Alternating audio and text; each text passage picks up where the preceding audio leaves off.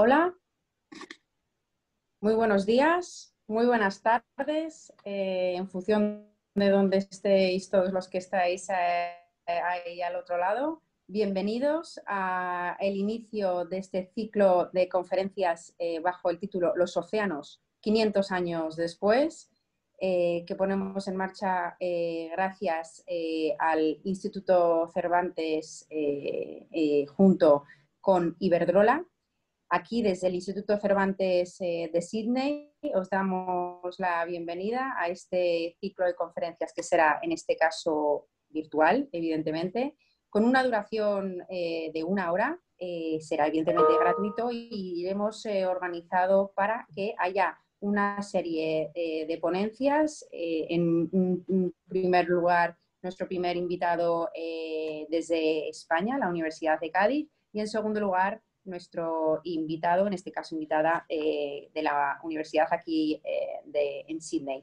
Em, organizaremos la sesión eh, terminando con una serie de preguntas hacia el final de la, de la sesión, aproximadamente los 10 minutos últimos de esta sesión. ¿Por qué se organiza este ciclo de conferencias? Sin duda alguna no habrá ninguna duda eh, de la necesidad de, poner en marcha eh, una serie de ciclos eh, de conferencias sobre esta temática, en qué han cambiado los océanos y qué investigaciones se están poniendo en marcha por científicos de calado para llevar a cabo el estudio necesario de nuestros océanos y qué se puede hacer para asegurar su sostenibilidad. Em, hace 500 años que se puso en marcha en primer lugar la, primera vez eh, de la Vuelta al Mundo, eh, la circunvalación de la Vuelta al Mundo por Magallanes y desde entonces, en, este, estos 500 años, eh, se ha avanzado mucho en, este, en este sentido y el objetivo de hoy es analizar los diferentes proyectos de investigación de calado que se están poniendo en marcha para conocer el estado actual y qué se puede poner en marcha, qué, debemos hacer para asegurar su sostenibilidad. Sin duda alguna, el objetivo de este ciclo de conferencias que pone en marcha el Instituto Cervantes junto con Iberdrola eh, es eh, poner en marcha el, esfuerzo de la reflexión eh, para poder concienciar y ahondar en esta necesaria colaboración y la difusión, que es una de las funciones básicas que tiene el Instituto Cervantes, en este caso la difusión de la ciencia en español. Tenemos el honor de contar hoy aquí con el representante de Iberdrola, eh, con Fernando Santamaría, que es director de renovables eh, para Australia eh, de Iberdrola. Fernando lleva 17 años en esta temática de, renovables, tanto en Reino Unido, donde ha desarrollado su trayectoria, junto con Brasil y evidentemente también aquí en Australia. Desde el Instituto Cervantes eh, y desde este Instituto Cervantes de Cine agradecemos la presencia eh, y el compromiso que tiene Iberdrola en sensibilizar eh, sobre la urgencia de tomar medidas para garantizar la sostenibilidad de nuestros océanos. Fernando, cuando quieras, te paso la palabra. Gracias, Coral, y buenos días, tardes a todos los que nos siguen. Eh, es un placer para mí representar a, Iberdrola en este evento junto al, Instituto Cervantes y, el resto de, participantes sobre una materia que está completamente alineada con, el compromiso de Iberdrola con la preservación del medio ambiente y, en especial nuestros océanos, que es el tema que nos ocupa. Como comentaba Coral, eh, mi nombre es Fernando Santamaría y soy el responsable de renovables en, Australia, país donde, donde me encuentro. Iberdrola, para los que no conozcan, es un grupo internacional con una trayectoria de décadas apostando por un modelo sostenible en el sector de la energía, lo que nos ha llevado a ser líderes mundiales en energías limpias y tener presencia en multitud de países. En este esfuerzo de transformación, pues, eh, eh, de décadas, como decía, se ha ratificado unos objetivos eh, muy ambiciosos para esta década, con una inversión prevista de 150.000 millones de euros a nivel global y una meta de triplicar nuestra capacidad renovable. Y estos objetivos se basan en, la convicción de que es urgente tomar la iniciativa contra los efectos del cambio climático y en la necesidad de acelerar la descarbonización en distintas actividades y procesos. Eh, Iberdrola lleva 20 años en esta línea, pero quizá el momento es más acuciante que nunca para todos y por eso nos sumamos a esta llamada para unir esfuerzos en esa acción de concienciación y de colaboración conjunta para, abordar este reto que nos atañe a todos. Muchas gracias a todos y, como decía, un placer estar en esta sesión hoy. Muchas gracias, Fernando.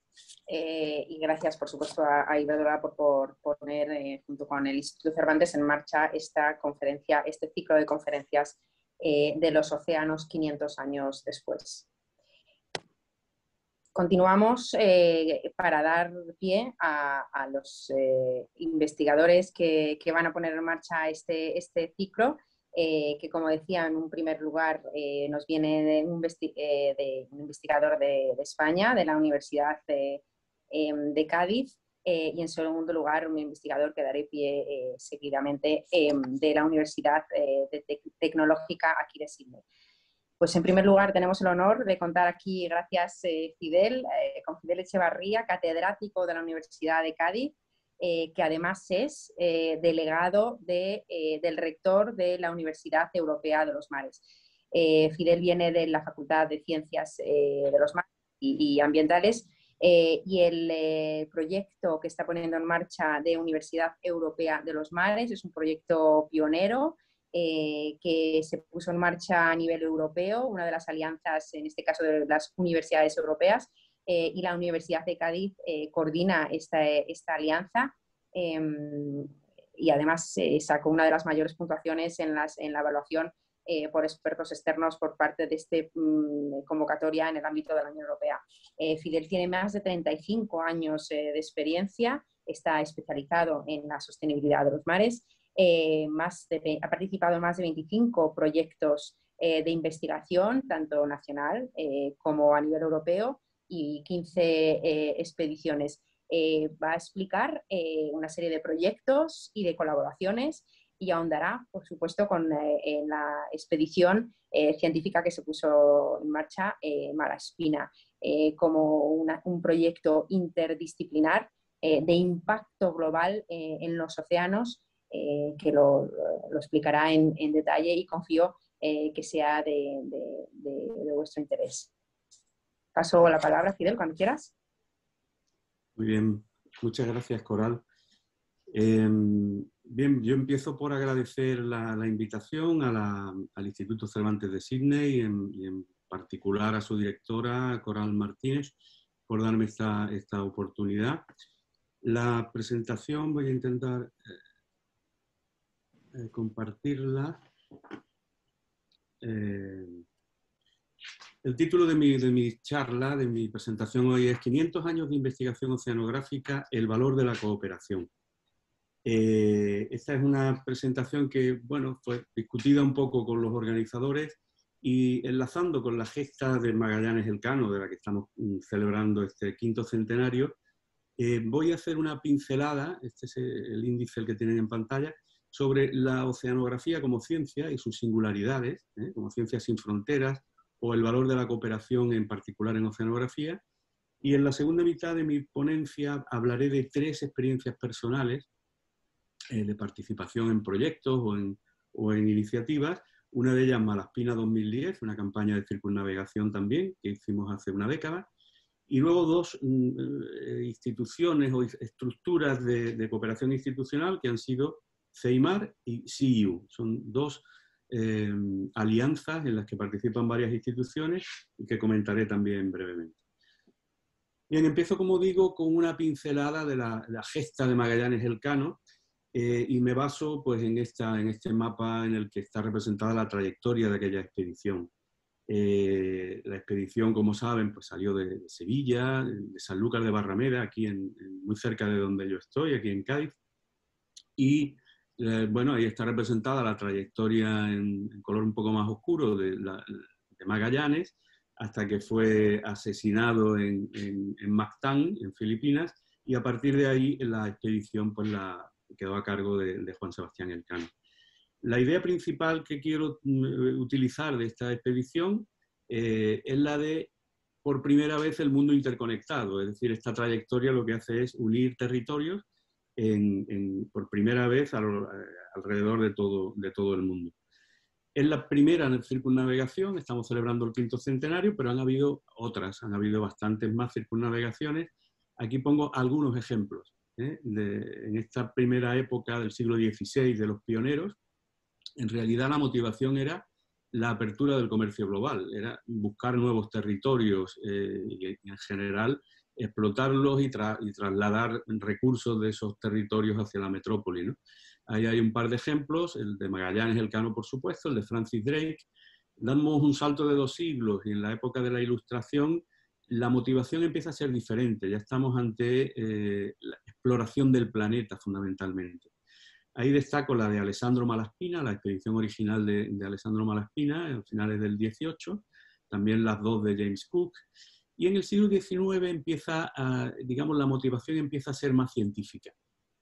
Ahí están, por ejemplo, la expedición famosa del Beagle de, Darwin o la de eh, Thomson a bordo del Challenger, que se considera la primera, la primera expedición eh, científica, realmente científica de la historia. En cierto modo, lo que hacemos es pasar de un océano bidimensional en el que solo interesa la superficie para que un barco navegue hacia otros territorios, a una visión más tridimensional en, la que el océano pues, es un, ecosistema que hay que estudiar, que hay que analizar su tercera dimensión, esa estructura vertical. Bien, en todo caso, desde entonces, desde aquella primera circunnavegación, llevamos, pongo ahí, 500 años descubriendo el océano, en el sentido de que, bueno, es una fuente de, inagotable de sorpresas, hay una investigación eh, muy, muy intensa desde, desde, esa primera época y en estos últimos años mucho más. Una idea fundamental es que estamos en un planeta océano, esto es algo que todos sabemos, eh, estamos en un planeta en el que la mayor parte de la superficie, en torno a las tres cuartas partes, eh, son mar, son océano, y además ese océano es uno. Es un planeta, es un océano, es un océano en el que todo está conectado. Me gusta usar esta, esta frase de Raquel Carson, ella es una, bueno, una activista de la, de la primera época, ¿no? de los años 60, escribió Primavera Silenciosa, por ejemplo, y en este libro sobre el mar que nos rodea, habla de que efectivamente no hay agua que sea eh, completamente del Pacífico, ni del Atlántico, ni del Índico, ni del Antártico son las corrientes profundas, eh, ocultas, eh, las que hacen que el océano sea uno, ¿eh? esa interconexión entre las aguas de todo el, de todo el océano. Eso convierte a la oceanografía bueno, en una ciencia sin fronteras. El, hecho de que, de que haya esa continuidad en las masas de agua, de que haya ausencia de fronteras en la dinámica marina, unido a que estamos ante un objeto de estudio, que es el océano, de unas dimensiones enormes, muy grandes, y que además es poco accesible, en el sentido de que ahí tenemos que ir con medio, pues como al menos con un, buque. ¿no? Eh, todo esto junto, eh, esas características intrínsecas del océano, y, hacen que en oceanografía haya sido más fácil o más frecuente el plantear una tradición eh, integradora. es decir, por ejemplo, que haya más interdisciplinariedad, más interinstitucionalidad, o más eh, componente internacional que a lo mejor en otras disciplinas. Tratando de, explicarnos un poco por qué, para empezar digo que la cooperación, esa cooperación es fundamental en ciencia y no es exclusiva de la oceanografía. ¿eh? La cooperación, por ejemplo, nos permite abordar objetivos más ambiciosos. En oceanografía esto es un poco más importante por esa, como decía, esa mayor tradición integradora o por el hecho de que mm, necesitamos una mayor estandarización metodológica. ¿eh? Si queremos comparar, por ejemplo, la concentración de clorofila en la bahía de Sydney con la concentración de clorofila en la bahía de Cádiz, necesitamos métodos que, sean efectivamente comparables. La, estandarización es mucho más necesaria eh, que, en otras, a lo mejor en otras disciplinas. Eh, una, una, idea interesante para entender el porqué de esta mayor interdisciplinaridad en oceanografía es que, bueno, precisamente estamos obligados a trabajar desde un espacio reducido como es un buque oceanográfico. Un buque oceanográfico es una, herramienta, podemos decir, costosa, en la que el espacio es reducido. Y ahí normalmente se aprovecha, pues, dado lo costoso que es estar en un barco oceanográfico, y, es, frecuente que participen especialistas de distinta, de distinta especialización. Eh, un geólogo con un físico, con un químico, con un biólogo. ¿Eh? En los laboratorios costeros pasa un poco lo mismo, de hecho, en el sentido de que son, son laboratorios cercanos al mar donde también suelen convivir estos especialistas de distintas disciplinas que únicamente tienen como, como objeto común el estudio del océano. Es precisamente, bueno, Ramón Margalef, que aparece en esa fotografía, ya fallecido, fue el primer catedrático de ecología en España, un, un, ecólogo de renombre y con una gran influencia en la ecología a nivel internacional. Y él, en esa frase de su libro Ecología, define a los laboratorios costeros como buques de investigación anclados que favorecen, igual que lo hacen las expediciones científicas, el contacto entre cultivadores de distintas disciplinas. Es una visión interesante de por qué en oceanografía hay esta tendencia a una mayor cooperación y interconexión entre investigadores. Bien, como decía, en la segunda parte de mi presentación voy a centrarme en tres eh, experiencias personales en programas de cooperación, en programas que han tenido ese componente cooperativo. El primero es esta expedición, Malaspina 2010, que fue un proyecto que incluía una campaña de circunnavegación Luego voy a hablar de CEIMAR y de CIU, Campus de Excelencia Internacional del Mar y la Universidad Europea de los Mares, que son dos agregaciones interinstitucionales coordinadas por la Universidad de Cádiz. Eh, abajo tienen la secuencia temporal, Malaspina, la campaña fue entre 2010 y 2011, el proyecto duró un poco más, eh, CEIMAR estuvo activo durante cinco años entre el 11 y el 16 y CIU Estamos ahora mismo eh, trabajando en él, eh, terminará el año que viene, en 2022, pero va a tener una continuación de seis años más. El primero de los ejemplos, la expedición Malaspina 2010, que conecta, por ser una circunnavegación, con esta que estamos conmemorando de Magallanes. El proyecto Malaspina 2010 eh, fue un reto y representó un hito en la oceanografía española al ser la primera circunnavegación científica de la historia de España. También fue un hito por, ese cambio de escala eh, respecto a las campañas habituales que veníamos haciendo en, nuestro país. La duración de la campaña, por supuesto, pues fue muy superior a lo habitual, fueron siete meses, se recorrieron 42.000 millas, eh, hubieron 700 personas implicadas, eh, hubo más de 16, bueno, 16 instituciones implicadas, pero algunas de ellas con muchos centros de investigación que hacían que el número de centros llegara a ser de 30. El presupuesto global pues también fue mucho mayor que el habitual, 6 millones de euros, y estudiantes vinculados fueron 80. La persona que fue un poco responsable de, todo el proyecto es eh, Carlos Duarte, como investigador principal, y él era entonces eh, investigador en el IMEDEA, en, Mallorca, en el Instituto Mediterráneo de Estudios Avanzados. Luego pasó una época precisamente en la Universidad de Perth, en Australia. Bien, el proyecto eh, era claramente interdisciplinar. ¿eh? La estructura del proyecto ya lo pone de manifiesto. Aquí habían siete bloques temáticos que incluían desde la física, la química, la biología, con distintos bloques, e incluso la historia, ¿eh? para estudiar la expedición original de Alessandro Malaspina. Había también cuatro bloques horizontales, que incluían la coordinación y la integración, lógicamente. También se dedicó un bloque importante a la diseminación, se hizo mucho esfuerzo de, divulgación de lo que estábamos haciendo. Y en el bloque 10, eh, que además fui yo el responsable, era el dedicado a la formación. Proponíamos también que sirviera como una especie de plataforma de formación para una nueva generación de investigadores en, ciencias, en ciencias marinas. También era un proyecto interinstitucional. Esas instituciones, que ya he dicho que eran 16, eran 12 universidades, ¿eh? estaba la Universidad de Cádiz entre ellas, 12 universidades, varios centros del CSIC, están aquí resumidos, casi todos los centros costeros del Instituto Español de Oceanografía, estaba AFTI, y finalmente varias unidades del, Ministerio de Defensa, incluyendo el propio barco que, como saben, estaba operado por la Armada.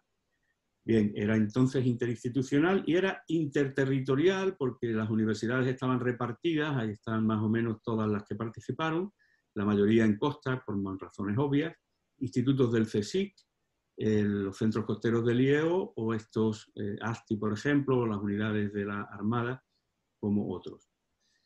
Y también era un proyecto internacional, obviamente era una vuelta al mundo, hicimos escala en seis países, eh, se participó, participantes había de 13 nacionalidades, Además de, las instituciones participantes de primera línea, habían 25 instituciones asociadas, de las cuales 21 eran extranjeras, de 18 países. Ahí está la relación de los participantes, algunos de australianos, como ven aquí. Esta fue la trayectoria en rojo, la del Espérides. Eh, lo que hicimos fue mm, primero ir a Río de Janeiro, Ciudad del Cabo. En Australia se paró en dos puertos, fue el único país con dos mm, atraques. Estuvimos en Perth y estuvimos en Sydney. Eh, luego estuvimos en Auckland, en, Nueva Zelanda, para terminar en Honolulu, Cartagena de Indias y de vuelta a España. Hubo una segunda campaña en Sarmiento de Gamboa, pero, pero no, me voy a centrar en la de circunnavegación. Bien, eh, resultados fueron muchísimos. Hay casi 500 artículos publicados después de aquella campaña.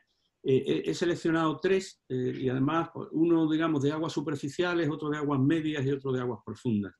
¿eh? En, aguas de arriba, en la zona superficial, estudiamos la distribución de plásticos flotantes en el océano global y encontramos una conexión muy clara entre la circulación superficial, las zonas de convergencia, y la acumulación de, materiales flotantes. Esto dio lugar a, un trabajo pionero en, esta revista de prestigio y el primer autor fue Andrés Cózar y de hecho esto puso en marcha una línea de investigación actualmente muy, prometedora y muy exitosa en, la Universidad de Cádiz. un segundo ejemplo, pues también tuvimos, utilizando métodos acústicos, una, eh, hicimos una estimación de biomasa global, sobre todo en peces mesopelágicos, este pez linterna, es el vertebrado, como digo ahí, más abundante de la biosfera, y ya digo, encontramos valores de concentración y de biomasa muy superiores a los que hasta entonces se, se creía. Y como ejemplo de investigación en océano profundo, pues encontramos fitoplancton, células de fitoplancton mm, fisiológicamente activas a profundidades muy grandes, entre 2.000 y 4.000 metros, lo cual fue un resultado sorprendente que también pudimos publicar en, Nature, igual que el anterior que he mostrado. Bien, y, por último, dentro de, este, de Malaspinas, referirme a esta generación nueva de investigadores con estas 80 tesis que se defendieron en el proyecto, 50 tesis de doctorado y 30 de máster. Fueron tesis eh, en temas de vanguardia, en temas de ámbito planetario, con una perspectiva global. Y bueno, eh, los estudiantes aquí aprovecharon precisamente esas características del pequeño, del espacio reducido de un buque, ¿no? Había un, compartir un espacio reducido, por tanto la, comunicación era mucho más intensa entre los estudiantes y entre estudiantes e, e, investigadores. Bien, el segundo ejemplo es este campus de excelencia CEIMAR. Esta fue una iniciativa también del Gobierno de España pretendiendo agregar instituciones, unir distintas universidades, por ejemplo, centros de investigación, con una vocación de excelencia, tanto en docencia como en investigación, y con, eh, una componente internacional también importante. Lo hicimos entre 2011 y 2016 y eh, eh, lo que hicimos fue unir a las siete universidades del sur de la península, eran las cinco universidades costeras de Andalucía, Almería, Granada, Málaga, Cádiz y Huelva, coordinados por la Universidad de Cádiz, incluyendo además la Universidad del Algarve en Portugal y la Universidad del Malek Sadi en Marruecos. Y además había siete centros de investigación, del CSIC, del IEO, de la Armada, institutos de, investigación de ámbito regional como el IFAPA o, el Centro de Arqueología Subacuática o el Museo Nacional de Arqueología Subacuática. Estas eran las 14 instituciones promotoras de CEIMAR. El enfoque era interdisciplinar de nuevo. ¿eh? Aquí se analizaba pues, desde la oceanografía a las pesquerías, por ejemplo, y la acuicultura, temas de gestión del medio marino, ingeniería, ahí veis también aerogeneradores como como se veía en la imagen de, nuestro compañero de Iberdrola, o, valor cultural del mar, también importante. Esas eran las cinco originales y luego añadimos una sexta, que era la salud y el mar, con lo cual se, cubría todo el espectro de eh, especialización o de áreas de especialización relacionadas con el mar.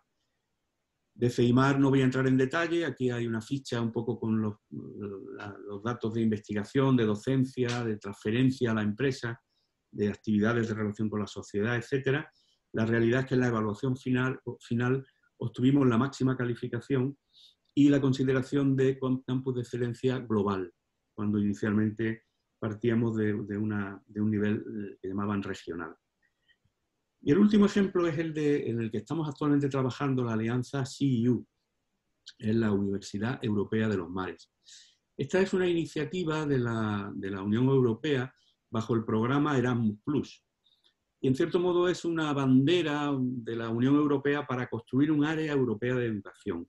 ¿eh? En realidad las universidades europeas son alianzas transnacionales que tienen la vocación de convertirse en las universidades del futuro. ¿eh? Han habido dos convocatorias, nosotros conseguimos nuestra alianza en la primera, en 2019, o sea, en una de las 17 primeras que se, que se aprobaron. En promedio son siete universidades por alianza, en nuestro caso son seis. ¿eh? Ahora aparecen aquí nuestras seis universidades, de nuevo coordinadas desde la Universidad de Cádiz. Está la Universidad de Bretaña Occidental en Brest, en Francia, la Universidad de Kiel en Alemania, la de Dansk en Polonia, la de Split en Croacia y la de Malta. ¿eh? Son seis universidades costeras en la periferia de Europa, por esa razón de ser costeras, bien distribuidas geográficamente, que juntas pues aportan estos números que ven aquí, de estudiantes, de profesorado, etc. Además de esas seis promotoras hay 32 eh, miembros asociados, entre los cuales, por ejemplo, está el CEIMAR. ¿Eh? pero también hay algunos pues, bueno, muy reconocidos, como puede ser Infremer, en Francia o Geomar en, Alemania, eh, junto con otro montón de, instituciones. Este esquema un poco resume el, proyecto, en el sentido, bueno, tenemos el ámbito atlántico con Cádiz y Brest, el Báltico con Dance, el Mediterráneo con Malta y Split, y aquí está organizado los distintos subcomités y los distintos work packages, paquetes de trabajo del proyecto, ¿eh? cubriendo pues, desde la educación, investigación, movilidad, en fin, los temas fundamentales de una iniciativa como, esta. Además de eh, como tal, cuyo objetivo principal, lo he comentando, es fomentar la excelencia en investigación y enseñanza para obtener más conocimientos y una mejor comprensión del medio marino, tenemos dos proyectos anidados. Uno dedicado, se llama CEU Doc, dedicado a tratar de conectar mejor la formación de los doctores en nuestras seis universidades con las necesidades del mercado laboral y un tercer proyecto, eh, los dos anteriores eran Erasmus Plus, este es un Horizonte 2020, se llama Research EU, el objetivo principal es compartir y desarrollar prácticas exitosas y modelos de cooperación en investigación e innovación. Bien, mi última diapositiva de conclusión, beneficios de la cooperación institucional, después de haber recorrido estos tres ejemplos.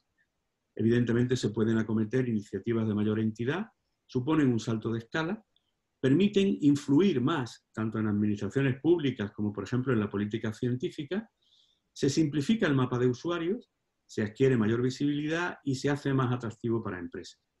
Los tres ejemplos que he puesto creo que son buenos ejemplos de esa, de esa cooperación institucional tan necesaria y tan importante en, investigación marina. Y hasta ahí mi presentación. Muchas gracias. Hola, de nuevo, Fidel, muchísimas gracias eh, por esa presentación. Eh, y por toda esa información que la verdad que es eh, increíblemente interesante. Em, con motivo también de ver y de aunar la investigación realizada, como podéis ver, de, calado por parte de, la Universidad de Cádiz, de Fidel Echevarría, de la Alianza Europea a la que pertenecen, ahora me gustaría dar pie eh, a nuestra conexión con Australia, con Sydney, en concreto con eh, la ponente que viene de eh, la Universidad Tecnológica de Sydney, de la UTS, que es Isabel Núñez, que es un honor tenerte hoy aquí. Em, Isabel también es miembro de la SRAP, como es la Asociación de Investigadores Españoles de Australia y del Pacífico. Está desarrollando un programa de investigación en el marco eh, del estudio de los arrecifes de coral. Eh, pertenece también al grupo de cambio climático de la universidad que hemos mencionado. Em, es una reconocida, se ha reconocido como una eh, investigadora Nobel del National Geographic en el año 2018. desarrolló sus estudios de biología, entre otros, en la Universidad de, Valencia y ha realizado la investigación de los corales en las Bahamas, así como Hawái, la Politécnica, la, Polinesia, eh, francesa y por supuesto también en, en Australia. Es un honor tenerte hoy aquí, poder unir esta investigación que se está llevando a cabo en España por universidades españolas y aquí también en Sydney por españoles en universidades australianas eh, y sobre todo la necesaria interconexión que tiene evidentemente con la sostenibilidad eh, de nuestros océanos con la investigación que llevas a cabo. Bueno, nada más por mi parte. Muchísimas gracias Isabel, te doy, te doy pie a, tu ponencia. Muchas gracias Coral. Ah, buenos días en España, buenas tardes aquí en Sydney. Eh, primero de todo, quería agradecer al Instituto Cervantes de Sydney y al SRAP por invitarme a participar en esta charla. Es un gran honor para mí. Cuando recibí la noticia me hizo mucha ilusión y además saber que iba a compartir escenario con Fidel, que, estuvo, que fue parte del Malaspina, para mí es un gran honor también. Yo siempre he sido fan de la expedición, con lo cual eh, feliz de estar aquí. Y nada, voy a presentar, voy a hacer la presentación.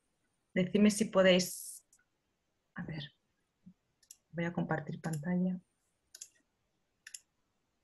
Sí, de acuerdo.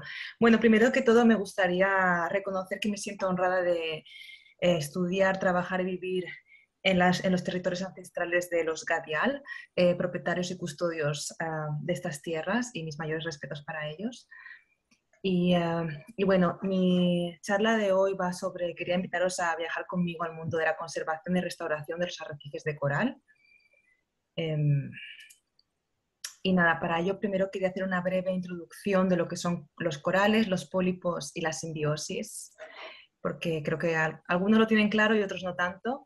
Eh, los corales son animales, en este caso aquí os muestro un coral tabular, un coral duro, porque también los hay corales blandos.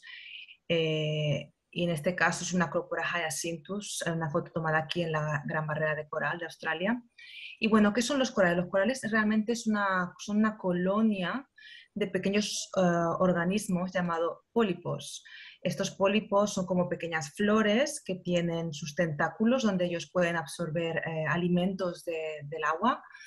Em, ingieren estos alimentos a través de la boca que tienen y después hacen su digestión y parte de esos nutrientes van a, formar ese esqueleto de carbonato cálcico de aquí que se llaman eh, corales duros. Pero la gran particularidad de los corales es que hacen simbiosis con unas ah, microalgas que se llaman zoosantele. Como podéis ver aquí tenemos un pólipo y dentro del tejido este, esta cosita verde son las microalgas eh, con las que hace simbiosis. Hay que decir que más del 90% de la energía eh, que el animal utiliza la obtiene a través de la fotosíntesis. Es decir, que es un animal un poco particular, porque es verdad que tiene reproducción sexual, como muchos animales, pero al mismo tiempo hace simbiosis como las plantas.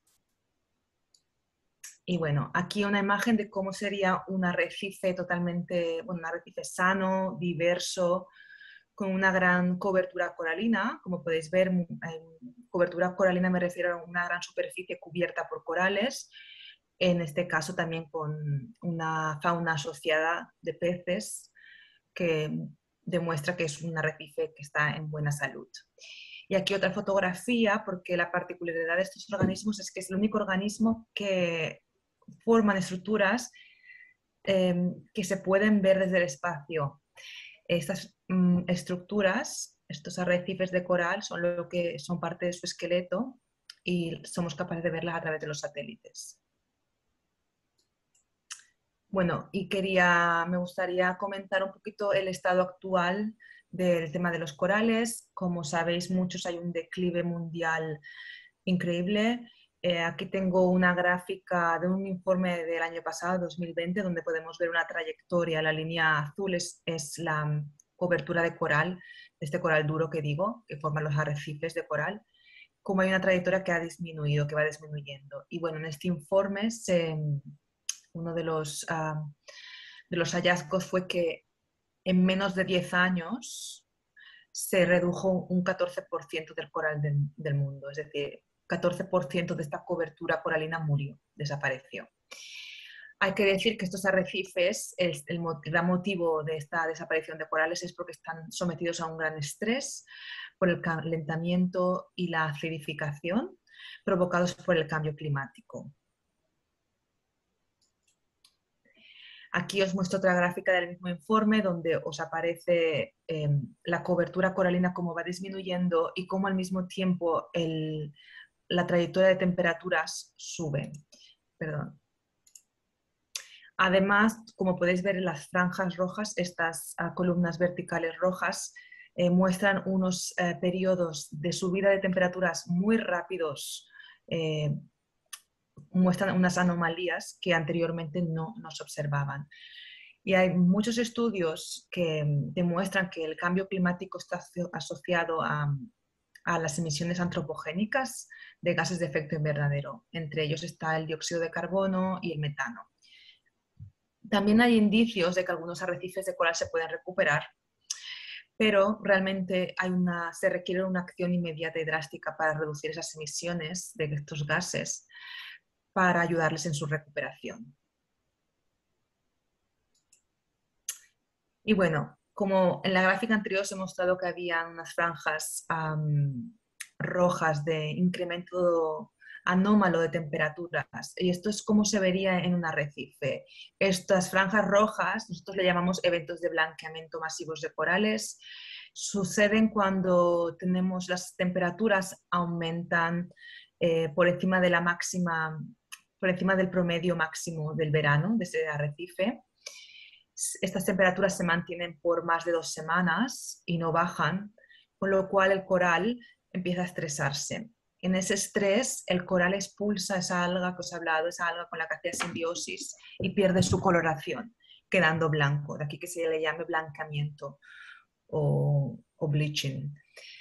Em, todo hay que decir que en este momento el coral todavía sigue vivo, todavía hay esperanza. Si las temperaturas bajan a tiempo, el coral es capaz de reabsorber esta alga y volver a este estado, em, al estado mm, natural con la simbiosis con el alga. Pero sí, y también hay que decir que durante este estado, en este estado, como los animales están muy estresados, hay muchas funciones biológicas que se ven impactadas. La supervivencia se reduce, muchos de ellos morirán, el crecimiento se ralentiza o se para porque están muy estresados y no hay energía ni recursos suficientes para alocarlos, dirigirlos hacia el crecimiento. Y también se ha comprobado, se está comprobando que hay muchos impactos en la reproducción. La reproducción, cuando hay un evento de blanqueamiento, en la época de reproducción siguiente, eh, la calidad baja muchísimo. Y bueno, ya aquí tenéis una red, el en el caso, en este caso es un caso real de Samoa, después de un evento de blanqueamiento donde el arrecife pues murió, como podéis ver. Bueno, y esto, esto que os comento, esta, esta crisis de los corales es el contexto en el que mi trabajo se enmarca. Em, ante esta crisis de los corales hay un gran em, movimiento internacional colaborativo intentando frenar este declive de, los corales, intentando buscar técnicas para mejorar su supervivencia, su crecimiento y su reproducción, mientras se buscan, mientras se toman decisiones y se ponen las acciones necesarias para reducir los, efectos, los gases de efecto invernadero. Y bueno, como puedes ver aquí, eh, son distintos sitios donde he estado, las Bahamas, luego de aquí me fui a Filipinas, luego tuve la oportunidad de ir al Pacífico Sur, eh, a Polinesia Francesa, de ahí volví, perdón, fui al norte, a Hawái, de Hawái volví otra vez al sur, porque mi corazón se quedó allí. Y ahora otra vez sigo otra vez en el sur, en el Pacífico Sur, aquí en Australia, en la Gran Barrera de Coral. Y bueno, los proyectos para comentaros. Eh, me gustaría invitaros a este viaje de países para que veáis los distintos actores que han, con los que he colaborado, para que veáis las distintas, las distintas, distintas técnicas que hemos desarrollado, que hemos investigado. Y bueno, el primer proyecto que hice fue en las Bahamas en 2015. Es un proyecto liderado por Van Hoor y la Universidad de Wageningen, que son eh, holandeses y colaboradores en las Bahamas. Se trataba de un proyecto de restauración a gran escala. Como podéis ver aquí, esto es, em, se trata de una, una empresa de ingenieros y todo el material se envió desde Holanda hasta Bahamas en contenedores de barco. Es decir, aquí teníamos todo lo necesario para hacer este proyecto. Es un, como un laboratorio móvil, digamos. Entonces, bueno, eh, trabajamos con esta especie que estáis viendo aquí, la Crocora palmata, es una especie en peligro de extinción del Caribe. Eh, y lo que hacemos es poner estos conos con estas redes para recoger lo que son los gametos sexuales, las células sexuales cuando hacen la reproducción de estos corales, es decir, el esperma y los huevos. Hay que bucear por la noche con linternas y la verdad que para ser mi primer proyecto, pues la verdad que me impresionó bastante, pero bueno, ahí, estuvimos. Y, em, y, nada, pues una vez recogemos estos gametos, hay que llevarlos, hacemos la, los llevamos a un barco, en el barco hacemos la em, fertilización y de ahí los tuvimos que llevar a esta zona de aquí, a la carpa, donde esta carpa teníamos ocho tanques de, de 800 a 1500 litros. Esta es la capacidad, o sea, una barbaridad para poder cultivar las larvas. Bueno, un proyecto, la verdad, muy interesante, eh, donde pasé de estar trabajando en laboratorio cuando estaba estudiando en la universidad a, a hacer algo a macro escala. Entonces, para mí fue un gran aprendizaje realmente y lo recuerdo con mucho cariño. Siguiente viaje, eh, tuve las, ahí, bueno, después de este proyecto descubrí que me apasionaban las puestas de coral. Eh, entonces, eh, las siguientes puestas de coral eran en Filipinas en 2016 y este es un proyecto donde habían colaboradores australianos, filipinos y también holandeses y se trataba de un proyecto de hibridación y cría selectiva. Em, otra vez trabajamos con la reproducción sexual, es decir, recogemos lo que son los huevos y el esperma, esta vez no en el arrecife, traemos las colonias y lo hacemos en laboratorio o en los acuarios. Y en este caso lo que hacemos es que separamos las colonias de coral individualmente, eh, separamos sus huevos y su esperma. Y lo que hacemos es hacer cruces entre especies que son hermanadas que sabemos que taxonómicamente están cercanas. Y aquí tenemos, por ejemplo, eh, cómo sería un, pequeño coral de, pues este coral tendría tres o cuatro días, quizás. siguiente proyecto. De aquí nos marchamos a Polinesia Francesa en 2016-2017 eh, aquí me especialicé o estuve ayudando en, tema de criopreservación de material genético de corales, concretamente esperma de coral. Eh, otra vez trabajamos con reproducción sexual, es decir, em, traemos las colonias al acuario, las eh, separamos y recogemos su material genético para poder congelarlo. Eh, quiero decir que la criopreservación es una técnica de congelación donde se congela a temperaturas de menos 80, menos 200 grados, eh, material biológico que se puede luego traer a la vida. Es decir, está dormido para poder hacer investigación en un futuro, para poder hacer eh, restauración en un futuro. Ha habido un estudio reciente donde han hecho una... perdón, han han mezclado, han, hecho una fertilización con esperma que estaba congelado de, esta crópora palmata que os he enseñado antes, del Caribe, de una región con otra región, que, que naturalmente sería imposible que se cruzasen. Y es una, es, es una técnica para en situaciones donde hay poblaciones que están que son demasiado pequeñas para reproducirse Em, exitosamente, el traer esperma congelado ayuda a, dar un, empuje a esta población para que no decaiga. todo hay que decir que em, pudimos añadir cuatro especies más al biobanco. Hay actualmente 41 y de las cuales hay cuatro que son de Polinesia francesa. Y nada, Miriam, si me puedes poner el vídeo de monitorear a los corales para que la gente pueda ver un poco cómo, cómo es lo que estoy diciendo. Bueno, pues como podéis ver aquí es un tanque donde hemos traído las colonias de coral y en este momento estamos monitoreando. Las, las puestas de coral suelen hacer por la noche normalmente, en este caso con esta especie. Estamos monitoreando em, si van a hacer la puesta o, eh, y si van a hacer la puesta hay que todo el mundo ponerse listo para, para hacer los experimentos. ¿Me puedes poner el siguiente vídeo, por favor, de la puesta?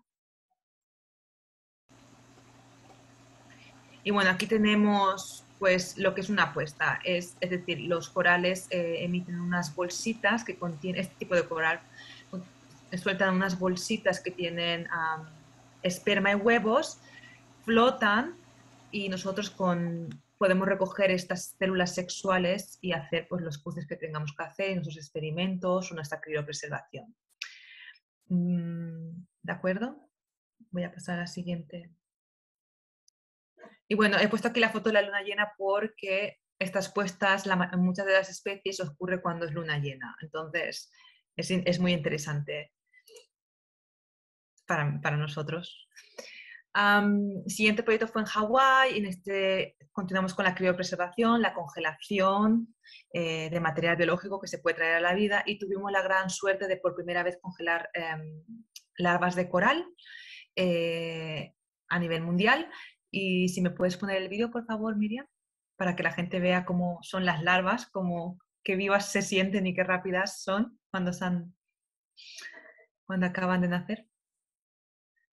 Bueno, estos son larvas de una acrópora eh, y como podéis ver aquí, o sea, el coral que lo veis todo quieto, que no se mueve en el arrecife, tiene durante, en su ciclo biológico hay una fase larval donde tiene movimiento y, y nadan activamente.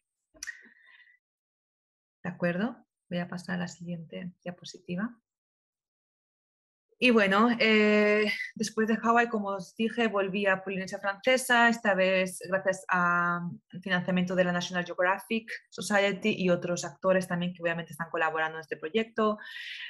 Otra técnica más es hacer microfragmentación, es cortar un coral en pequeños fragmentos, porque hemos visto que hay un rápido crecimiento y era combinar esta técnica, que está ya probada, con, guarderías de coral.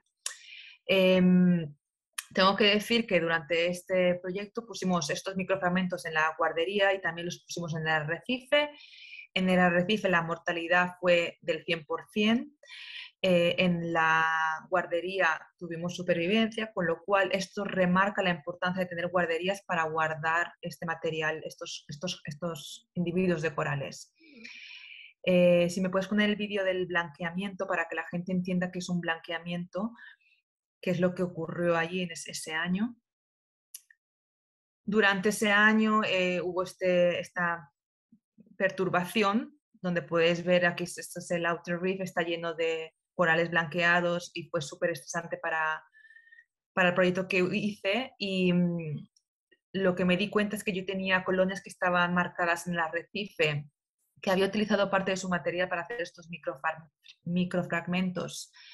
Y cuando volví al arrecife, estas colonias madre habían desaparecido, habían muerto. Es decir, así de grave es un, un, un evento de blanqueamiento. ¿Ok? Y bueno, y actualmente me encuentro aquí en Australia, en la Universidad Tecnológica de Sydney, donde colaboro con otros actores. Em, y en mi proyecto actualmente lo que hacemos, eh, lo que estoy haciendo es evaluar los esfuerzos de restauración aquí en la Gran Barrera de Coral. Em, y para ello estoy intentando, estoy identificando otras medidas, otras características del, del coral que están más alineadas con la salud del coral y también con el funcionamiento del arrecife. Entre estas características he mirado más de 50 características, con lo cual espero descubrir alguna o más de una que sean em, importantes para el tema de la evaluación, de la restauración. Y nada, mi mensaje para ustedes es que, bueno, recordaros que acabamos de entrar en la década de las Naciones Unidas de la restauración de los ecosistemas y también en la década de desarrollo sostenible para la ciencia del océano, también de las Naciones Unidas, y que esto brinda muchísimas oportunidades eh, para todos. Em, mi mensaje para, ustedes es que nuestra salud depende de la salud de los océanos, esto es, innegable.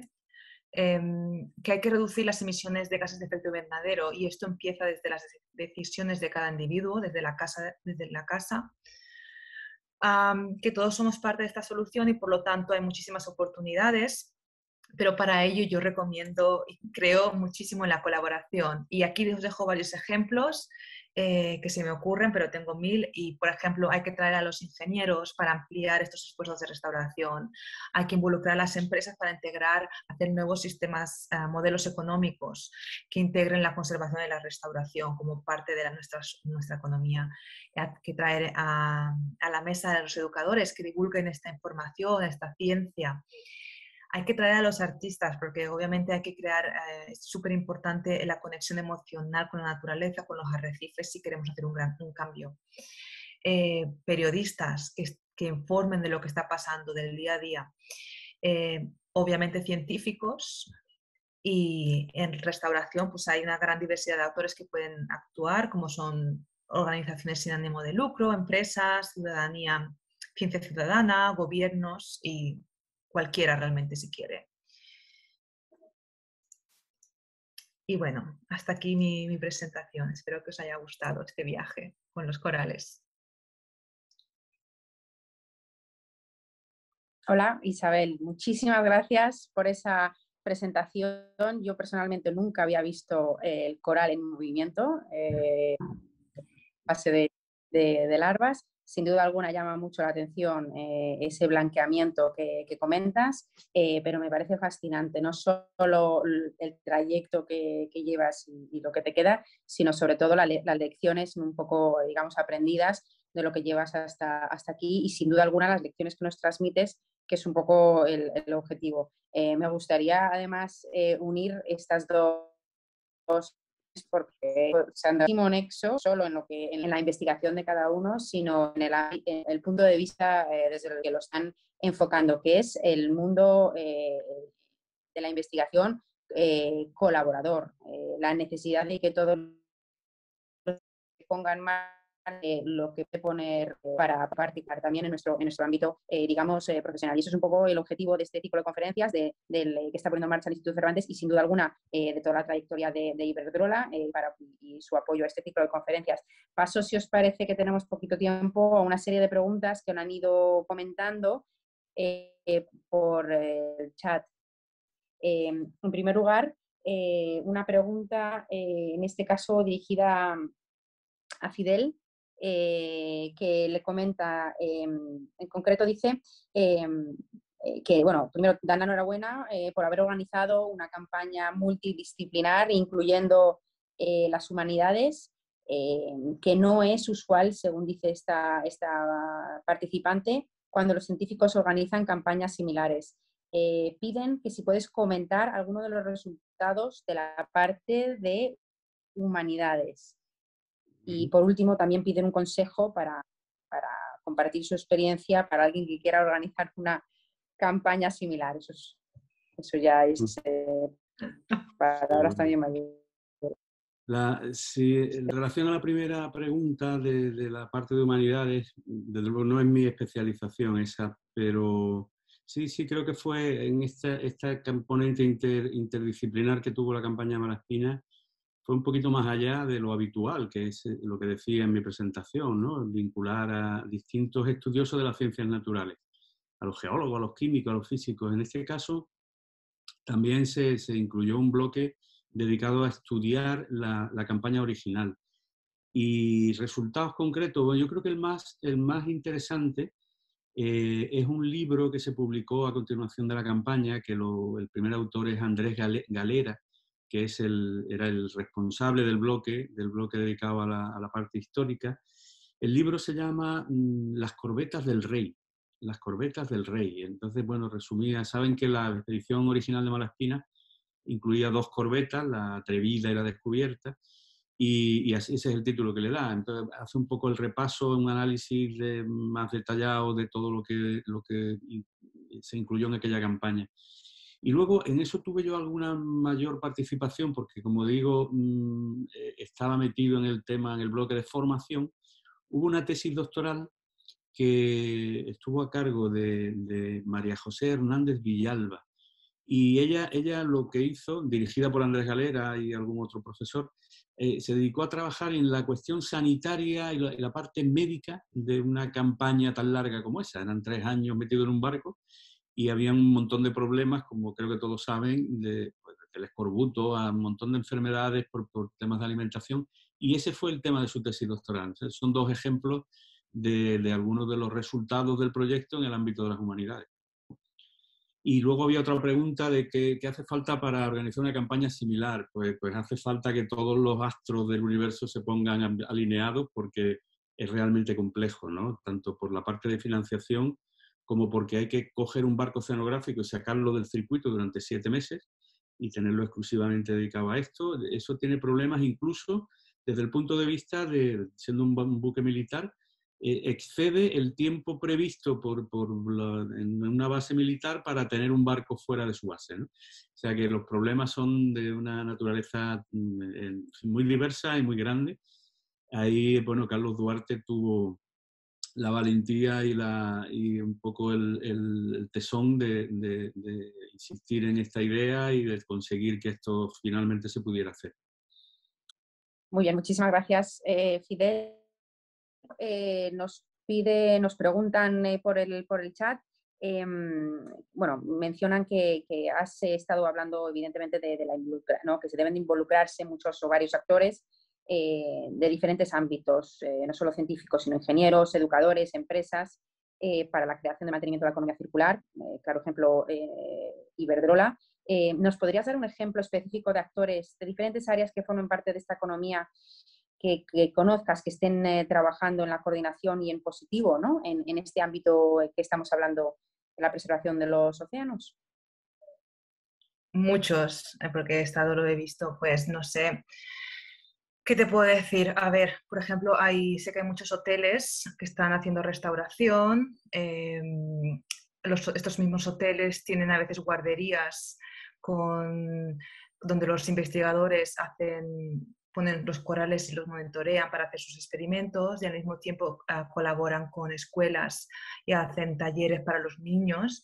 Yo me acuerdo que estaba en Tahití, yo para mí eh, me fui a acompañar, me fui a acompañar fui con un compañero a dar un, taller y los niños vinieron a ver, pues ellos se conocían todos los peces que habían ahí, los, los corales que teníamos, les enseñamos a hacer fragmentación, eh, y yo pensaba, madre mía, ojalá hubiera tenido eso cuando yo era pequeña, porque es una maravilla. Entonces, pues aquí puedes ver diferentes actores, investigadores, tienes a los hoteles que son empresas, tienes escuelas, luego también hay em, otro ejemplo, por ejemplo, sería aquí en Australia, por ejemplo, Mars, que es una compañía de comida, eh, tiene, bueno, no solamente en Australia, en Indonesia también tiene, hace proyectos de restauración con lo cual son empresas que mm, dependen de los recursos de esos países y al mismo tiempo devuelven a la comunidad y a, esos países, en, este caso con restauración. Eh, tienen un caso muy exitoso en Indonesia con las Reef Stars y ahora están aquí empezando en Australia, eh, que seguro que va a ir bien también. Y, y así muchos ejemplos, es que de posibilidades son infinitas realmente. Em, quiero recalcar que por el chat están dando la, enhorabuena a los speakers, eh, palabras textuales, vaya profesionales. Em, y me gustaría también eh, recalcar una pregunta que, es un poco también el, eh, el, motivo, ¿no? porque ponemos esto en marcha. dice, soy recién doctora en ciencias marinas de la UTS en Sydney me encanta el trabajo de campo y quería saber si hay una posibilidad de poder irme a Cádiz a trabajar con Fidel. Eh, bueno, no hay nada como, como eh, la última parte no te he oído, Coral, pero la primera sí. Lo de si había alguna oportunidad para venir a trabajar a Cádiz. Eh, bueno, en principio nosotros tenemos en marcha proyectos. Ahora mismo estamos muy centrados en, precisamente en el tema este del, de los microplásticos y del problema grande que hay con la abundancia de plásticos en el, en el, océano. No solo el plástico flotante, que es el que más se ve, sino, sino también el, el problema en general de la basura marina en, en, en todo el océano, incluyendo las, las zonas profundas. Y dentro de, ese, de, esa línea de investigación, pues tenemos proyectos de investigación que normalmente en la que normalmente se incluye la contratación de personal, ¿no? de, becarios, de contratados predoctorales, etc. Esa sería una, una, vía para alguien que quiere iniciarse en la investigación.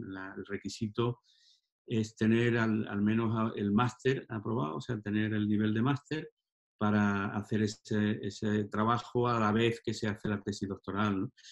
Esa podría ser una, una posibilidad de, de, contratación. Debo decir también que ahora mismo no son el mejor momento ¿no? para el reclutamiento de gente nueva, pues por la situación un poco económica en general, no solamente en España, quizá en, un problema más internacional. Pero bueno, oportunidades hay. También hay que decir que la carrera investigadora es, muy competitiva y normalmente cuando sale una oportunidad, pues el número de candidatos es grande y, están entrando personas con un nivel de formación muy alto, precisamente por esa, esa alta competencia.